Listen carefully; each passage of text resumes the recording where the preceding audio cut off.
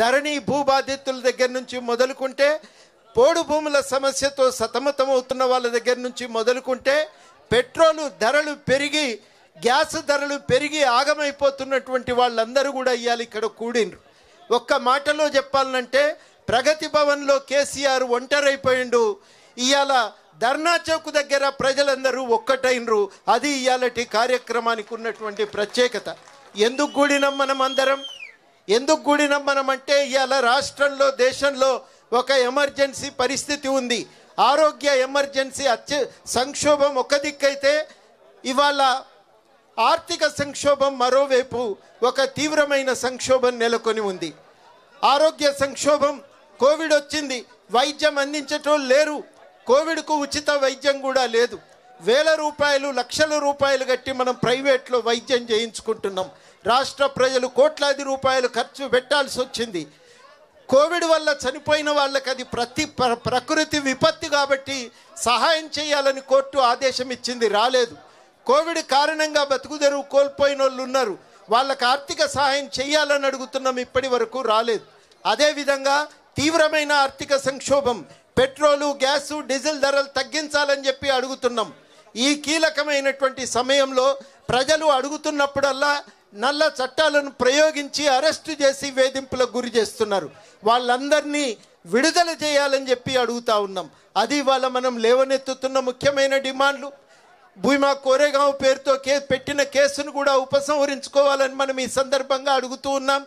రాష్ట్రానికి సంబంధించి ఇవాళ మనకు తిండి పెట్టవలసిన ప్రభుత్వం ఉన్న భూమిని గుంజుకుంటున్నది ఆ భూమిని మాకు కాకుండా చేస్తున్నది దాని విషయం కూడా మనం మూడు డిమాండ్లు చేర్చినాం. ధరణి వెబ్సైట్ అనేది కుట్రపూరితంగా ప్రజల హక్కులను కాజేయటానికి వచ్చింది. సంపన్నుల చేతుల్లో భూమిని రక్షించటానికి ధరణి వెబ్సైట్ వచ్చింది. అనేక మంది రైతులు ఇవాళ ఇక్కడ ధర్నా జరుగుతుందంటే రాలేని వాళ్ళు వాట్సాప్లో మెసేజ్లు పెట్టిండ్రు. మా ధరణి సమస్యలను మీరు ఎట్లయినా మాట్లాడాలని. కొంతమంది ప్రొహిబిటెడ్ లిస్టులో పెట్టిండ్రు. కొంతమంది రికార్డులు తప్పున్నాయి. సరిచేయమని అడిగితే ప్ర- ప్రభుత్వం దానికి స్పందన లేదు. కింద నుంచి మీ దాకా అప్లికేషన్లు తిరుగుతున్నాయి. అసలు తీసుకునేటోడెవడో అర్థమైతలేడు. ఆ- ఆ అప్లికేషన్ ఇచ్చిన దానికి పరిష్కారం కూడా దొరుకుతలేదు. ఆదివాసీ ప్రాంతాలే కాదు అటవీ ప్రాంతాల్లో చాలామంది చిన్న చిన్న రైతులు అడవి భూములను దున్నుకుంటున్నారు. ఆ భూములకు పట్టా ఇవ్వాలని చట్టం రెండు వేల ఆరులో వస్తే ఆ చట్టం ప్రకారం పట్టా ఇవ్వవలసిన ప్రభుత్వము చట్టాన్ని తుంగలో దొక్కి బలవంతంగా భూములను గుంజుకుంటున్నది. ఆ భూములను గుంజుకుంటున్న వాటిని ఆపాలని చెప్పి వాళ్ళకందరికీ కూడా పట్టాలు ఇవ్వాలని చెప్పి మనం డిమాండ్ చేస్తున్నాం. భూమి సేకరణ పేరుతో విచ్చలవిడి భూ సేకరణ ఆపాలని కూడా అడుగుతున్నాం. ఇప్పటికీ తీసుకున్నటువంటి వాళ్ళకి రెండు వేల పదమూడు చట్టం ప్రకారం సహాయం నష్టపరిహారం ఇవ్వాలని డిమాండ్ చేస్తూ ఉన్నాం. అది మన సిపిఎం జాతీయ ప్రధాన కార్యదర్శి సీతారాం ఏచూరి గారు వచ్చారు. చప్పట్లతో అందరూ వారికి స్వాగతం పలకవలసిందిగా అదేవిధంగా రాష్ట్ర కార్యదర్శి తమ్మినేని వీరభద్రం గారు కూడా వచ్చారు. వారికి కూడా అందరూ స్వాగతం తెలియజేయవలసిందిగా కోరుతా ఉన్నా. నేను red Sitaram Yechury. Red salute comrade Sitaram Yechury. ఒక రెండు నిమిషాలు మాట్లాడి ముగిస్తా. మిత్రులారా మనం ఏమడుగుతున్నామంటే ప్రభుత్వం మీద ఒక బాధ్యత ఉంది. ఏం బాధ్యత? కష్టంలో ఉన్నప్పుడు ప్రజలను ఆదుకోవాలి కడుపు నిండా తిండి పెట్టాలి. కానీ ఇలా ఆదుకోవలసిన ప్రభుత్వాలే దోపిడీకి పాల్పడుతుంటే మనకు రక్షణ ఎట్లా అనేది ఇవాళ మనం అందరము ఆవేదనకు గురవుతున్నాం. ఏది మనకు బతుకు తెరువు? మనం బతుకుడు ఎట్లా అనేది ఇవాళ దిక్కుతోచని పరిస్థితి. పిల్లలకు ఉద్యోగాలు లేవు ఈ సంవత్సరమే పదిహేడు పద్దెనిమిది మంది యువకులు ఆత్మహత్య చేసుకున్నారు. చాలామంది వాళ్ళ కోవిడ్ కారణంగా చనిపోయిన వాళ్ళు దిక్కుతోచని స్థితిలో ఉన్నారు. చాలా ఉద్యోగాలు ఖాళీ ఉన్నాయి ప్రభుత్వం భర్తీ చేస్తలేదు. ఇవాళ డీజిల్ పెట్రోల్ రేట్లు పెరగటంతో రవాణా మీద ఆధారపడ్డటువంటి వాళ్ళందరూ కూడా ఇబ్బందులకు గురవుతున్నారు. వీళ్ళందరినీ ఆదుకోమని ప్రభుత్వాన్ని అడుగుతున్నాం. ఉచితంగా వైద్యం ఉచితంగా విద్య అందరికీ ఉపాధి ఇవి మనం అడుగుతున్నాం. కానీ ప్రభుత్వాలు ఇవ్వటానికి బదులుగా మీదబడి దాడి చేసి కేసులు పెట్టే ప్రయత్నం చేస్తున్నాయి. ఈ పరిస్థితుల్లో మనల్ని మనం కాపాడుకోవటానికి ఆదుకోవటానికి మనమందరం ఐక్యం అవటం తప్ప ఇంకొక మార్గం లేదు. ఎన్నుకుని మన ఓట్లకు పుట్టిన ప్రభుత్వాలు మనకు న్యాయం చేయటమే వాళ్ళకున్న ప్రధాన కర్తవ్యం. వాళ్ళు న్యాయం చేయటానికి సిద్ధంగా లేనప్పుడు అంబేద్కర్ చెప్పిండు ప్రజల ఐక్యం కావాలి న్యాయం కోసం కొట్లాడాలని. ఇవాళ పార్టీలకు అతీతంగా జెండాలకు అతీతంగా అందరం కూడా ఇవాళ ఇక్కడ ఐక్యమైన.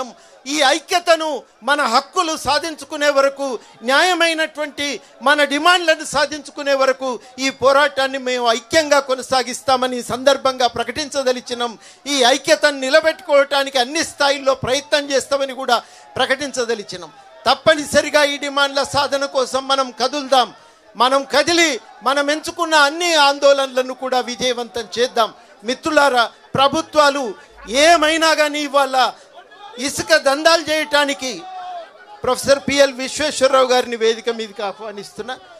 ప్రభుత్వాలు ఇవాళ ఇసుక దందాలకు ప్రభుత్వాలు ఇవాళ భూమి దందాలకు ఇవాళ మన ప్రభుత్వం అనేది కేవలము కేవలము గుట్టల మీద అధికారం కోసం వాళ్ళు ఇవాళ కొట్లాడుతున్నారు తప్ప మన కోసం వాళ్ళు పనిచేస్తలేరు మన కోసం ఆలోచన చేస్తలేరు.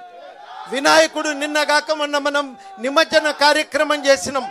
వినాయకుడిని పార్వతీదేవి జన్మనిచ్చి ఒక్కటే కోరిక కోరింది. మీరందరూ కూడా నా నేను స్నానం చేసి వచ్చే వరకు రక్షణ కల్పించాలని.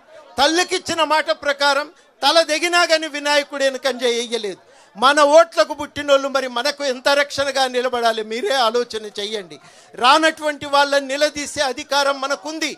మీరు తలకాయలు నరుక్కోవాలని అంటలేం. ప్రాణాలతో ఉండాలి. కానీ మా కోసం పనిచేస్తారా? మీ ఆస్తుల సంపాదన కోసం అధికారాన్ని వాడుకుంటారో? తేల్చుకోమని చెప్పి ఇవాళ ఈ వేదిక నుంచి అడుగుతున్నాం. మా కోసం పనిచేసే వాళ్ళైతే అధికారంలో ఉండండి. లేదంటే మీకు ఈ పరిపాలన చేసే అధికారం లేదు అని చెప్పి ఈ సందర్భంగా ప్రకటించదలిచినాం. చాలా స్పష్టంగా హక్కుల కోసం ఐక్యంగా నిలబడదాం. కొట్లాడుదాం. మన హక్కులను నెరవేర్చగలిగేటువంటి పాలనను సాధించుకునేదాకా మన హక్కులను సాధించుకునేదాకా మనం ఈ పోరాటాన్ని కొనసాగించాలని చెప్పి మీ అందరికీ విజ్ఞప్తి చేస్తున్నా.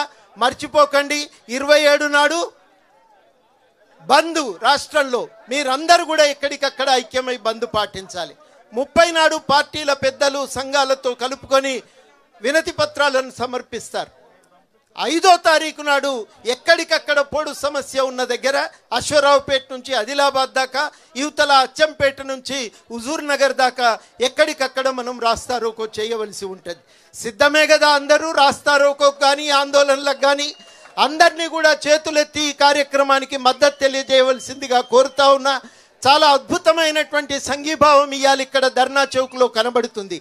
మనం కొట్లాడి తెచ్చుకున్న ధర్నా చౌక్ మన హక్కుల ప్రకటనకి వాళ్ళ వేదిక కావటం చాలా గొప్ప సంతోషదాయకమైన పరిణామం. ఐక్యంగా నిలబడదాం. హక్కులను సాధించుకునే వరకు న్యాయాన్ని సాధించుకునే వరకు క్రూరమైన పాలన దీనికి వ్యతిరేకంగా ప్రజాస్వామ్య విలువలు ని- నిలబెట్టేదాకా మనమందరం కూడా పోరాటం